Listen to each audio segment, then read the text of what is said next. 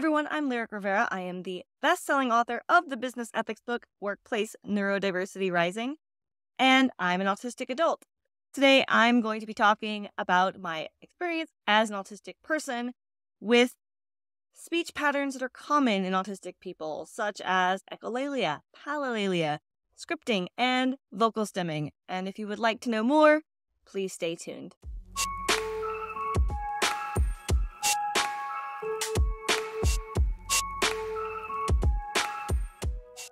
Though every single autistic person is different, many autistic people make different noises, repeat sounds, or make other vocalizations. There are three main types of vocalization that I'm going to be talking about today echolalia, palilalia, and vocal stimming. Despite being 37, I still have all three of these, as well as several other common neurodivergent speech patterns. First, I'm going to define each item, and then I'll explain more about my experiences with these from a human perspective, starting with echolalia, the vocalization that I personally experience the most. Echolalia is defined medically as the unsolicited, repetitive vocalization, words, or sounds made by another person, animal, or object. Echolalia is a common part of early childhood speech and development, but for many autistic people, we may continue to echo throughout our adult lives. Echolalia is a big one for me, so I'm very familiar with this. I echo things I hear around me, whether it's a word, phrase someone has said, quotes from TV, movies, commercials, songs on the radio, elevator dings, computer notifications, crosswalks, that wait, wait, wait, wait, yeah, that. I even echo animals. If there's a sound I like, I echo it. I don't even realize I'm doing it a lot of the times. When I hear a sound, if it tickles my brain the right way, I will repeat it. Someone will say a word or a phrase, or I'll hear the sound and I will mimic it, repeat it back echoing it in the exact same tone and rhythm that I heard it in. It's like a replay in my brain. Sometimes I will repeat the things in my head if I am very aware of my surroundings and don't want to draw attention of other people. I will just like quietly do this under my breath too. There's immediate echolalia, where I may immediately repeat the sound right after I hear it, similar to yelling into a canyon and hearing an echo right away. There's also delayed echolalia, where I may echo a mm-hmm. sound on a delay long after hearing it because something I encounter in my day to day life is going to remind me of this sound. And then I will, on a delay, sometimes hours, days, weeks, or even, you know, months or years later, I will echo that sound again, coming back with the same tonality and all of that as the first time, even though a lot of time may have passed. As an autistic person in a romantic relationship with another autistic person who happens to hang out with lots of other autistic people more than I hang out with non autistic people, and many of us echo, we echo each other and we echo each other's echoes. And I love that we echo each other's little noises, words, and sounds. I feel like it's a way that, at least with me and some of the people I'm closest to, when we embrace this fact that we echo one another and it's not used as something that is shameful, it's this really wonderful way for us to bond and share with one another. I think that's really powerful because I used to be ashamed of my echoes, but they have become something that I am really learning to love and accept and appreciate about myself and my autistic loved ones and my romantic partners. I now realize that it is part of how my partner and I bond in our relationship because we both now understand where these echoes come from. However, if one didn't know better, one might think, my partner and I are mocking each other because we're constantly going around mimicking each other like little mockingbirds. But we know. Uh, so it's kind of like one of our own little love languages. I do sometimes still worry about this in public with strangers who don't understand me or know me or my echoes. The fact that I can sometimes not have a lot of control over my echoes. So, or if I'm stressed, you know, anything that that brings those filters down, right? When when the brain is occupied with other things, if I'm really excited about something, whether that's happy excitement or fearful excitement or just stress excitement, like my brain is worried about the stress. I don't have the ability to filter, to control, and camouflage and mask as much. I, I do worry sometimes still, depending on the situation, but that's why I try to stay in really safe environments where my echoes and, and my verbal stim and things like that aren't a problem. That's my ask for you if you're not someone who echoes to remember this next time you say something and someone mimics or repeats back what you just said. Or if you hear someone copying a sound they've just heard, please don't think automatically that someone is making fun of you if they're mimicking you. The phrase imitation is the sincerest form of flattery, if you've heard it, is especially true with people who echo. It is really essential for you to understand that echolalia is most of the time subconscious. What that means, I and those who echo often don't have complete control over the echoing. We're not doing it to be annoying, we're not doing it to be obnoxious. Though stopping my echoes is something that's difficult, I can do it with great focus. I can stop myself from echoing, but then I'm just like thinking really hard about being very still and quiet. I'm no longer engaged in the world around me when I'm focused on not echoing and being still and quiet. If I'm in an environment where I know that I need to be very quiet, I'm generally just going to be a very tense person. I'm just focused on holding myself together, so to speak. That's because I know that's an environment where I can't relax and be myself. And it's not really an environment that I want to be in or enjoy being in. Something else that is similar to echolalia that people get confused with echolalia, as I know because I used to get these two things confused early on in my discovery journey, is palilalia. And I hope I've said that right. And that's when a person is involuntarily repeating themselves. So, palilalia is when you're repeating your own words and phrases. So, for an example, if I'm repeating something, I may say yes, but it's not just one yes.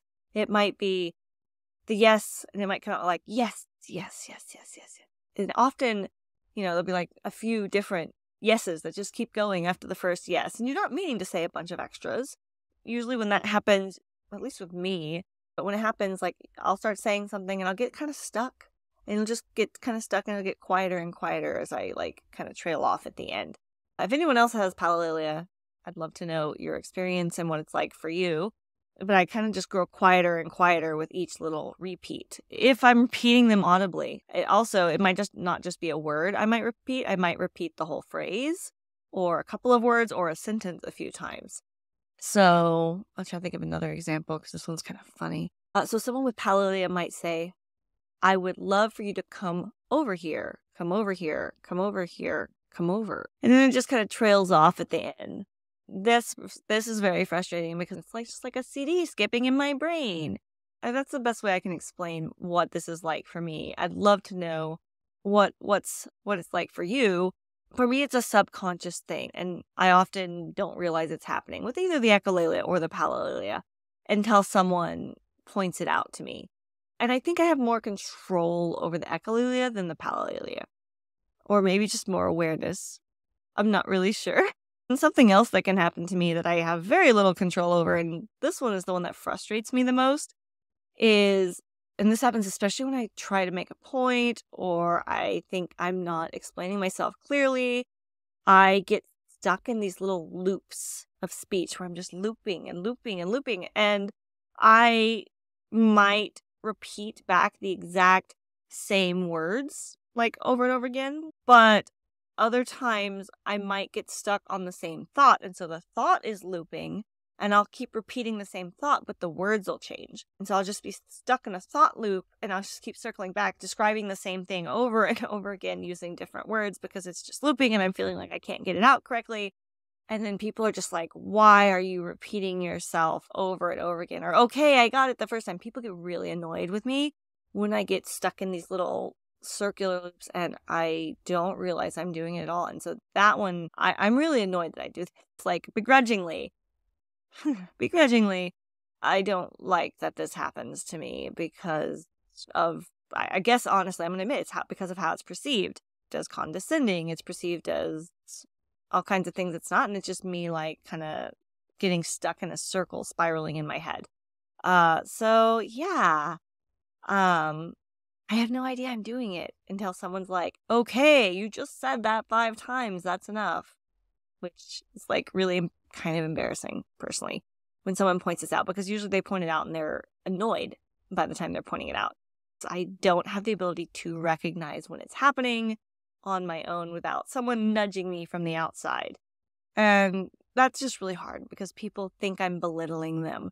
So for me, that's why when I'm doing this video here or when I'm having an important meeting, I use scripting, which is another thing that's really common in autistic people. I literally have a script in front of me right now, and I'm reading, paraphrasing off the script to make sure I don't miss any of the bullet points, and I still get stuck in loops. But you know, because it's editing, I'm going to go cut them out. And then when I'm doing a presentation, I'm like, word for word, no improvisation allowed because I know I might get stuck in a loop if I do that in calls and in meetings, I might have bullet points to make sure I just get to the points as much as possible. And I am like just following it so I don't get stuck in loops. It really is something that takes up a lot of energy. Then I can't just relax because I spend a lot of time preparing and often rehearsing scripts it's like literally like a play, a script. You know, I come from a theater family, so the scripting thing kind of came naturally to me. It's something I've been doing since long before I knew I was autistic. It was like one of the things I was like, oh, this might be an autistic thing when I was first wondering if I could be autistic. With these scripts, for me anyway, they can be really elaborate or they can be simple. Whether it's bullet points or like word for word scripts, they just help me keep on track and stop the looping the other thing I experience is vocal stimming. This is something I probably have the most control over out of all the other vocalizations and vocal differences I've mentioned today. Vocal stimming, medically, is defined as when somebody is soothing themselves by making different sounds with their mouth or throat, such as grunting, singing songs, or saying comforting words or phrases. There are verbal stims, stimming with words, and vocal stims, stimming with sounds, although technically vocal stims can include verbal stims. But I wanted to make sure to just differentiate the two because there's a little bit of a difference there. Because words are sounds, I use the term vocal stimming and I will be using that term moving forward instead of verbal stimming. My vocal stims include phrases and scripts from a lot of my favorite movies, TV shows. A lot of it is songs, which I find comforting and are often a lot more intentional for me than echolalia or palilalia is. I might sing to myself, grunt, growl, groan, make animal noises, little clicks, squeaks, speaking funny accents and funny voices, uh, talking to myself, uh, and just really exploring and playing with the sounds on a close up level, studying them, having fun, listening to and experimenting with my voice. I've done this since I was a young child. It's how I learned to speak and say a bunch of words. I still play with my voice to this very day. Since I was very young, a lot of my vocal stims were related to music, and singing was one of my first ever vocal stims. Singing and stimming with music is still something I do today. It's it's one of my main stims. Rhythmic stimming, stimming with music or stimming in a, a rhythmic musical way is something I do a lot. Do you do the rhythmic stimming too? Do you stim with music or to music or do you sing to stim? for me, an example of this is, and this doesn't happen as often now, but especially when I was younger, if something would scare me, I had this tendency to shut down on myself. And that still happens. That does still happen, unfortunately. But the part that doesn't happen as often now uh, is if I'm really kind of scared, I might start singing. And so I might just loop one or two lines of a song uh, uncomforting myself with that song. So for me, one of my songs is Three Little Birds from Bob Marley. And I would just sing, Don't worry about a thing, cause every little thing gonna be alright. And it would just be that, but like really quiet, kind of hush under my voice, probably a bit quicker. And just that over and over again, just the chorus, not the whole song. Uh, in the, in those moments, I don't know the whole song. I just know the comforting, everything's gonna be all right part, and it's just an instantaneous, repeated, soothing stim that when like that kind of stimming happens, I I might not realize I'm doing it because I'm really upset and really stressed. But I don't just stim when I'm stressed or upset. A lot of the vocal and other types of stims that I do are when I'm excited and when I'm joyful. When I'm relaxing at home and it's just Dave and the dogs, I constantly stim vocally, singing little songs, repeating lines from my favorite shows, TikTok videos. I, I do a lot. I have a lot of TikTok vocal stims and echoes nowadays. If I'm really, really happy, my overwhelming joy shows.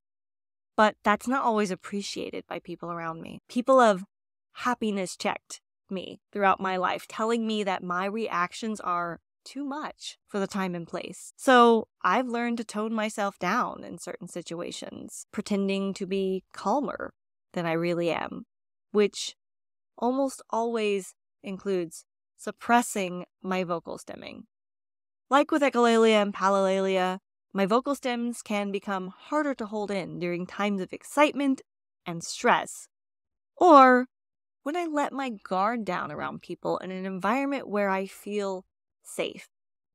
Though I have some control over my vocal stimming, there are times where I might start vocal stimming, then only catch myself when I hear my own voice through my ears. People have told me that my vocalizations inconvenience and annoy people.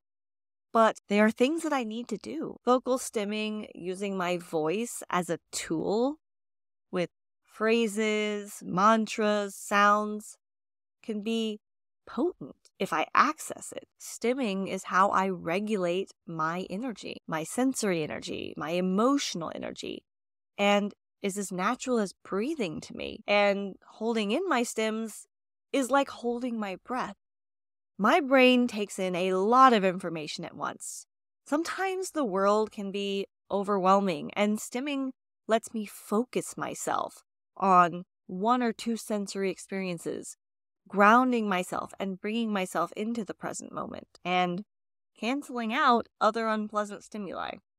Stimming for autistic people has a function, and echolalia isn't meaningless either and shouldn't be discouraged. I have different songs and phrases I sing and say when I'm joyful, afraid, thinking, or uncomfortable. My echoes and vocal stims are a way that I express my feelings and communicate. Since those vocalizations relate to feelings and thoughts, they are a hint at what's happening inside my mind. Growing up, my vocal stims and echoes were how I would play, learn, and grow. I would sit and stim with words I echoed to learn and memorize those words. I would pick a word and say it repeatedly, exploring the sounds at a close up level until it didn't sound like a word anymore, forever embedding it in my mind. I might have never learned to speak, communicate, and use language if I had been discouraged from echoing or vocally stimming. Do you do any of these things I've mentioned today? If so, which one is the one you do the most and what's it like for you? I would love to hear your experience. All right, everyone, thank you so much. Uh, this video was shot on Tuesday, July 30th. I'm going to try and get it out for the Patreon and other paid subscribers today. It'll be out for everyone else about a week or two later when it's finally finalized and prepared and ready to go.